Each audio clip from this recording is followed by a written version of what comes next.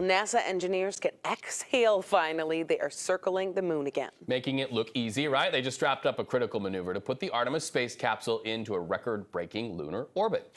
And as science editor Brian Hackney explains, the record was set one explosive night by the crew of the ill fated Apollo 13. Now, suddenly, a space mission, mission that got no one's attention suddenly had everyone's.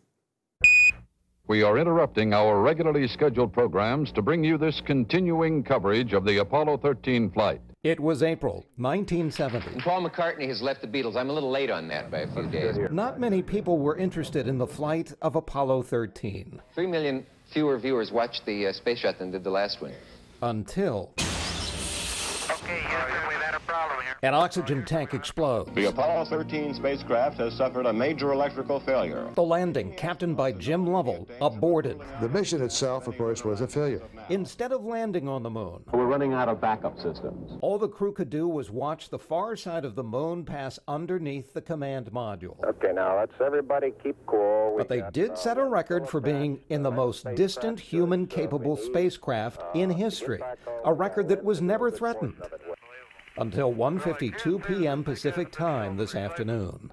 We're back with live views of the spacecraft now. Mission controllers completed a distant retrograde orbit insertion burn, locking Orion in the first lunar orbit with a human capable craft since we left the moon 50 years ago. So it looks like we had a good burn. And this is just the latest step. and liftoff of Artemis 1.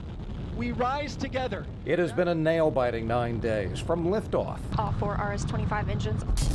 to separation of stages and abort systems, and giving a new generation a new Earthrise over the limb of the moon. The main key here is to have a successful mission so that we can start looking forward to being able to fly astronauts out to the moon.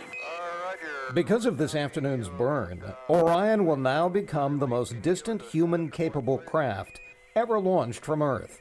Except there are no humans aboard. What is the target date for getting boots back on the moon? Late 2025 is what we're aiming for for Artemis 3 to land our astronauts on the moon, yes.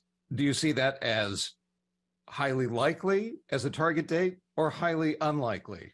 Uh, right now, I see it as likely. But almost no one expects NASA to hit that target date. At the moment, they'll be glad if they just get the space capsule back in one piece, Hey, there it is. There it is. just as they were in 1970 when Apollo 13 suddenly got people interested in spaceflight again. They've broken out the cigars.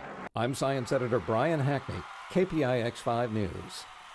If you'd like to follow along with the Artemis mission, we've posted several links to kpix.com along with Brian's story. And meanwhile, you can check out the view from the Orion capsule.